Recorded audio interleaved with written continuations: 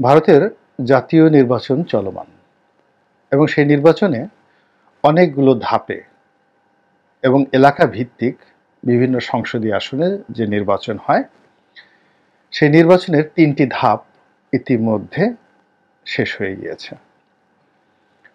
এই তিনটি ধাপের যে ফলাফল, এটি ক্রমবর্ধমান হারে বর্তমান প্রধানমন্ত্রী নরেন্দ্র মোদীর বিপক্ষে চলে গিয়েছে। অর্থাৎ প্রথম ধাপে তিনি এবং তার দল যতটা ভালো করেছিলেন, দ্বিতীয় ধাপে এসে সেটা আরও কমেছে, তৃতীয় ধাপে এসে মারাত্মকভাবে কমেছে। এর ফলে পুরো ভারতবর্ষের যে রাজনৈতিক হিসাব এবং নিকেশ, এটি ওলট পালট হতে চলেছে। এবং সবচেয়ে গুরুত্বপূর্ণ যে বিষয় মোদির যে সকল কর্মকাণ্ড, সারা দুনিয়াতে তোলপাড় সৃষ্টি করেছিল।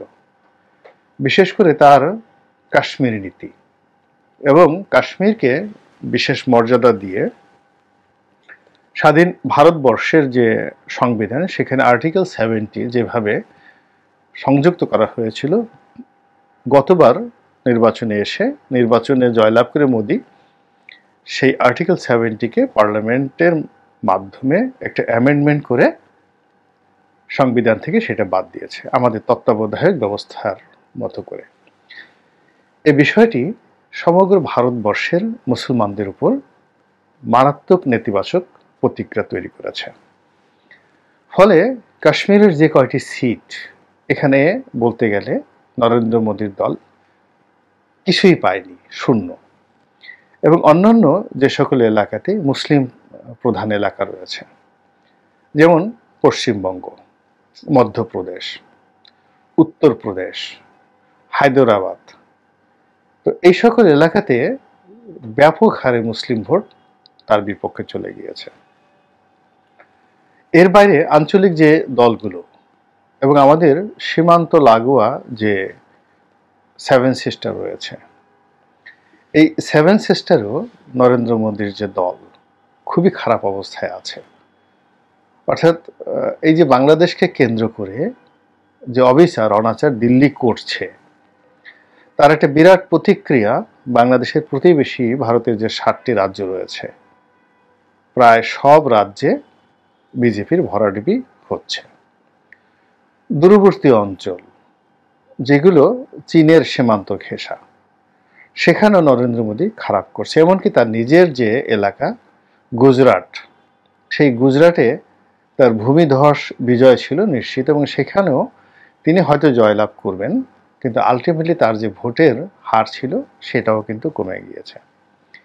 এরপর তিনি যে উগ্র হিন্দুত্ববাদ চালু করেছেন, এটি মুখ থুবড়ে পড়েছে এই নির্বাচনে।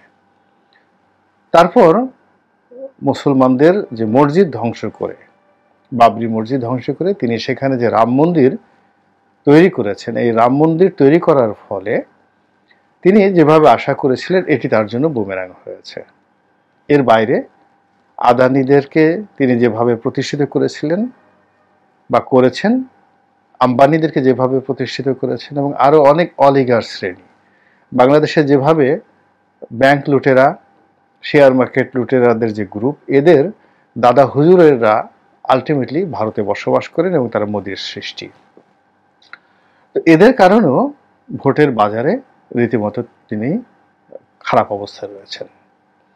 নির্বাচনের আগে একেবারে বাংলাদেশের স্টাইলে তিনি কতগুলো জঘন্য কাজ করেছেন। প্রথম কাজ হলো কংগ্রেসের অনেকগুলো যে ব্যাংক অ্যাকাউন্ট সেগুলো ফ্রিজ করে দিয়েছেন। এরপরে রাষ্ট্রীয় কতগুলো প্রতিষ্ঠান, আমাদের দেশে যেমন দুর্নীতি দমন কমিশন রয়েছে, জাতীয় রাজস্ব বোর্ড রয়েছে ডিবি রয়েছে সিআইডি রয়েছে। এরকম ভারতের যে সকল শক্তিশালী প্রতিষ্ঠান, বিশেষ করে সিবিআই রয়েছে।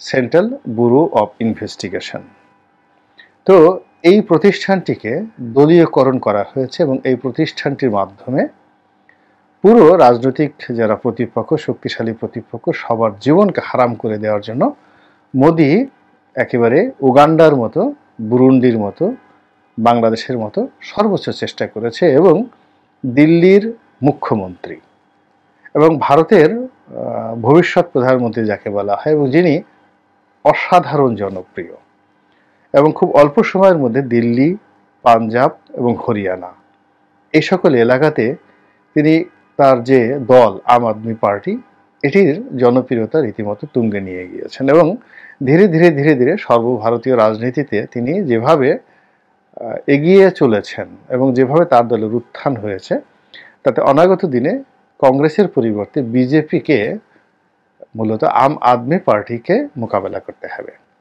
এই জন্য মিস্টার নরেন্দ্র মোদী এই ভদ্রলোকের পেছনে সিবিআই লাগিয়ে দিয়ে তাকে নির্বাচনের আগে গ্রেপ্তার করে ফেলেছেন এবং তিনি যেন জামিন না পান, সর্বশক্তি তিনি নিয়োগ করেছেন। কিন্তু এই তৃতীয় দফা ভোটের ফলাফল প্রকাশ হওয়ার সঙ্গে সঙ্গেই ভারতীয় হাইকোর্ট বা সুপ্রিম কোর্ট এই ভদ্রলোককে ছেড়ে দিয়েছেন, জামিন দিয়েছেন এবং তিনি আরও পনেরো দিন সময় পাবেন।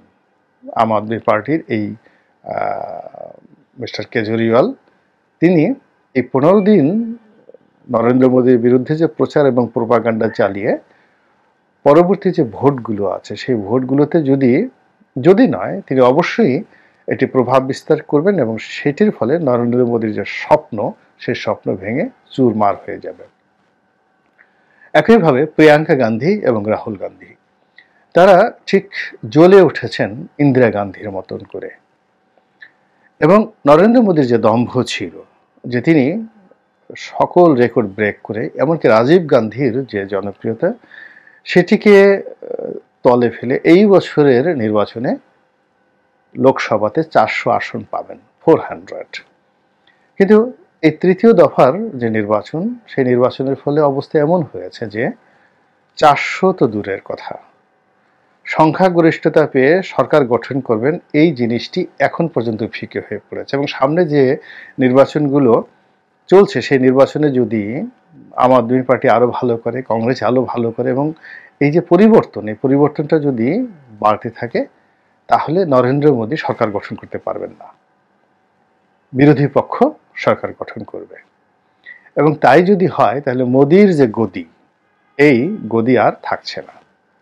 এবং সবচেয়ে বড় ব্যাপার হলো যে যে কোনো রাজনীতিতে যখন একটি স্বৈর শাসন আসে, মন্দ শাসন আসে, এটি একটি জেনারেশনে শেষ হয়ে যায়। কিন্তু যখন কেউ ভালো কাজ করে, তখন সেটি পারিবারিকভাবে হোক, দলীয়ভাবে হোক শত শত বছর ধরে সেটি জাতি তাদেরকে স্মরণ করে এবং জাতি তাদেরকে মনোনীত করে। ব্রিটেনের লেবার পার্টি, কনজারভেটিভ পার্টি। ইংল্যান্ডের পরে যদি আপনি আমেরিকাতে ধরেন, সেখানে ডেমোক্রেট এবং রিপাবলিকান। সেই গত তিনশো, সাড়ে তিনশো বছর ধরে ধারাবাহিকতা তারা বজায় রেখেছে।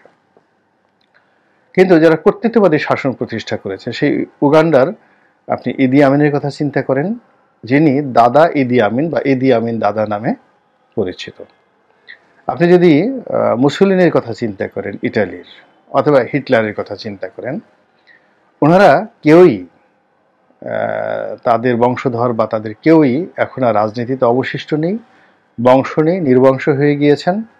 তাদের যে দল, প্রচণ্ড প্রতাপে সারা বিশ্বকে যেভাবে কম্পন ধরিয়েছিল, সেই দলের কোনো অস্তিত্ব নেই।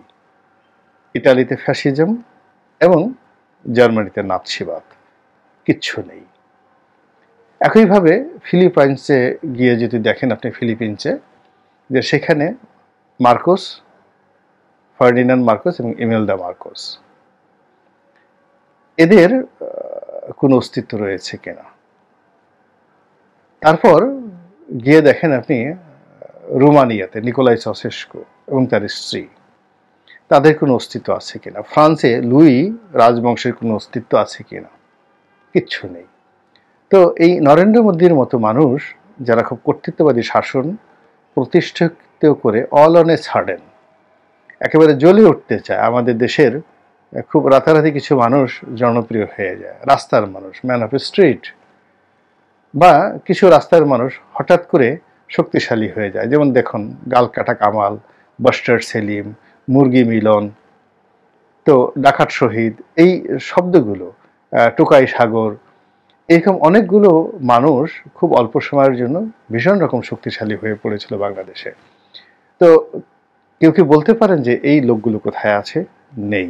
একইভাবে নরেন্দ্র মোদীর মতো যারা চা বিক্রেতা এবং খুবই অল্প শিক্ষিত মানুষ এবং রক্তের মধ্যে কোনো অবস্থাতেই ইতিবাচক কোনো ধারাবাহিকতা যাদের নেই। নিষ্ঠুরতা, নির্মমতা, হীনমন্যতা, অপরকে ঠকানোর, অপরকে ছোট করার যে মনোবৃত্তি, এগুলোর কারণে তাদের মধ্যে আল্লাহ রবুল আলমিন যে ভালো গুণাবলীগুলো দিয়েছেন, এই ভালো গুণাবলীগুলো সবসময় কবরচনা হয়ে যায়।